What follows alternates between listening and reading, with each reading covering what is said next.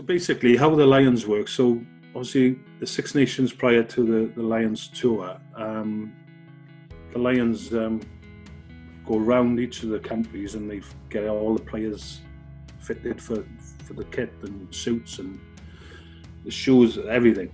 Um, and it was it was I'll never forget this day. And uh, Gats had got he's had a meeting in the morning. He said, right, just make sure lads you get fitted for. Uh, the Lions. Uh, they're in all day, so make sure you, you stick to your time slot. And then um, a couple of days later, then he, he says in another meeting, "Can't believe it, boys!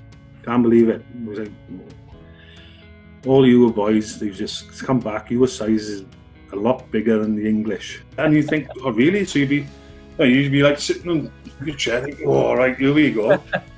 go going back to how I knew, so literally, literally, obviously, the Six Nations has passed and um, I was back playing for the Scarlets, and my phone rang. It was Rob Howley, and he said, "Oh, look, um, just let you know, it's between you and uh, another hooker um, for the potentially for the Lions." I was like, "Right," he said, "Just make sure you concentrate in the game today. Do everything that you normally do, your set piece, and have a good run." So that was it. hang up, and then I'll never forget the rest of the journey. You're just thinking, Christ look potentially be in the Lions year.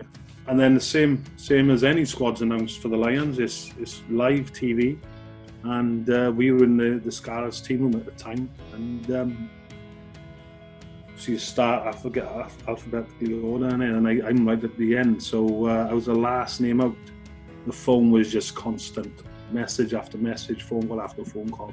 Yeah. And uh, oh, proudest moment of my career, you know, being being named in the, in the Lions, and then obviously the the hard work started then when um, we had to we had to get ourselves ready for South Africa. Mm. We, we, look, we knew it was going to be tough, especially with the, the team that South Africa had South Africa had at the time.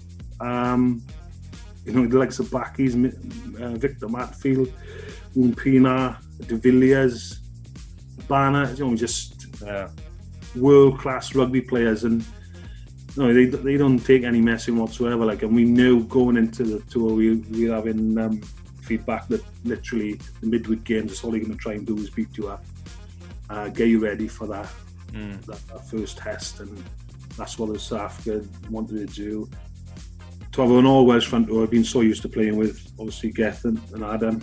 Um, and it was it was a, it was a nice moment, and uh, just unfortunate it only lasted one game because yeah. they both ended up in hospital after that second test. And I know, like I I was roomed with uh, Phil Vickery um, after that first test, and he, he was he was gutted. He was like, I'm I'm done. I'm not playing again. And I think he had a couple of friends out there, which literally he's coming back to the room late the night and you know a few beers and know, I think he, he really been frustrated with what happened, and I think everyone was pointing at him for the, for the loss. Mm. Um, and it was, it was tough because you are in the spotlight, a big game like that. And in fairness, let's let's be honest, we, we had a tough and torrid time by the beast. But the third test, then he starts um, with myself, and um, I'll never forget this, this the conversation I had with him. He said, "I wish I wish I had you in the, in the first test."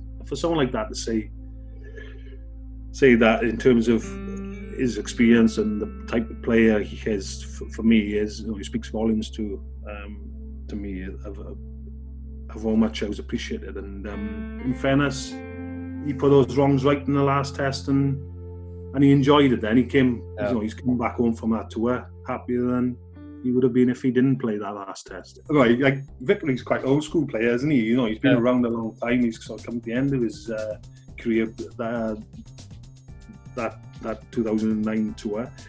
Um, and there's there's a, a, clip on the, the 2009 series documentary where we're in the change room just before the game and he's, he's headbutting Andrew Sheridan. Sheridan. And then he, he grabs me again and I'm like, why does that do it? Just react. But uh, yeah, he, he, was up for that game. There's, there's no doubt about it that um, he's going to have a positive impact because, like you say, he was so frustrated what happened in that first test. Obviously, he misses out on the the second test, but then he's got that opportunity to, like I say, the wrongs right. And um, in fairness, he was uh, he was more than up for that that challenge. I think it was a good way to finish uh, the 2009 series, really, really, wasn't it? Because as much as um, it would have been nice for that third test to be the decider, um, it's just a case for us, like you say, put a bit of pride and passion back into the, the jersey and get that result. Um, because in fairness as well, people say about the Lions to uh, the fans make it as well. They they were great, man. They